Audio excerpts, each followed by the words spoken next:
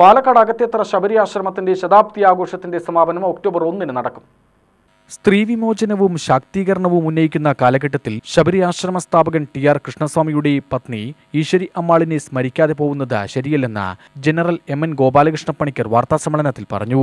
സ്വാതന്ത്ര്യ സമരത്തിൽ പങ്കെടുത്തതിനെ തുടർന്ന് കൽപ്പാത്തി അഗ്രഹാരത്തിൽ നിന്ന് ഇറക്കിവിട്ട കൃഷ്ണസ്വാമിയും പത്നി ഈശ്വര അമ്മാളും ചേർന്ന ആയിരത്തി തൊള്ളായിരത്തി മുപ്പത്തിയഞ്ച് ഏപ്രിൽ ഇരുപത്തിയൊൻപതിനാണ് ശബരി ആശ്രമം സ്ഥാപിച്ചത്. ഗാന്ധിജിയുടെ പാദസ്പർശമേറ്റ ആശ്രമം കേരളത്തിലെ വൈക്കം സത്യാഗ്രഹം ഐത്തോച്ചാടന സമരങ്ങൾ ഉപ്പ് സത്യാഗ്രഹം പന്തിഭോജനം ദളുവാക്കുളം തുടങ്ങി നിരവധി നവോത്ഥാന സമരങ്ങൾക്ക് നേതൃത്വം നൽകി. ഹരിജനങ്ങൾക്കായി വിദ്യാഭ്യാസം ആദ്യമായി നൽകിയതും ശബരി ആശ്രമമാണ്.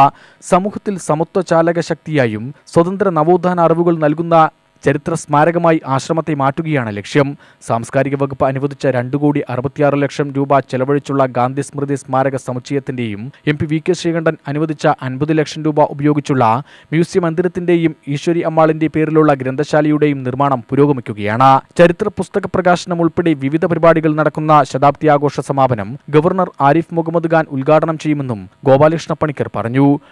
ആയിരത്തി തൊള്ളായിരത്തി ഇരുപത്തി മൂന്ന് ഒക്ടോബർ രണ്ടാം തീയതി ഇന്ന് കാണുന്ന ശബരിയാശ്രമം അവിടെ ടി ആർ കൃഷ്ണസ്വാമയ്യരുടെ സഹധർമ്മിണി ഇന്ത്യൻ സ്വാതന്ത്ര്യ സമരത്തിൽ ആദ്യമായി പങ്കെടുത്ത് അറസ്റ്റ് വരിച്ച ബ്രാഹ്മണ സ്ത്രീ അതും ഗർഭിണിയായ ബ്രാഹ്മണ സ്ത്രീ ഈശ്വര്യമ്മ ഉദ്ഘാടനം ചെയ്ത ശബരിയാശ്രമത്തിന്റെ നൂറാം വാർഷിക ആഘോഷ പരിപാടികളുടെ സമാപനം ഈ ഒക്ടോബർ ഒന്നാം തീയതി ബഹുമാനപ്പെട്ട കേരള ഗവർണർ നിർവഹിക്കുകയാണ് സമാപന സമ്മേളനം.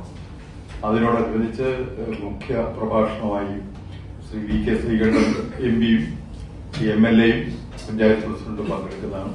ബഹുമാനരായ വളരെയധികം ഡിസ്റ്റിംഗ്വിഷ്ഡ് ആയിട്ടുള്ള ഗസ്റ്റുകളൊക്കെ ഇതിൽ പങ്കെടുക്കുന്നുണ്ട്. Treasurer doctor Jacob Vadakkumchery secretary T Devan P R O Raju എന്നിവരും വാർത്താസമ്മേളനത്തിൽ പങ്കെടുത്തു. U T Vinos Palakkad.